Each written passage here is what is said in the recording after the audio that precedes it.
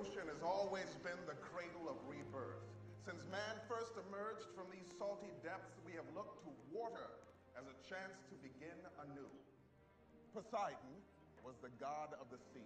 He made his home on the ocean floor in a palace of coral and gems. And so, what better way to celebrate the birth of a new year than borne on the back of the old fellow himself? May you all have clear sailing in the new year and all the years to come ladies and gentlemen.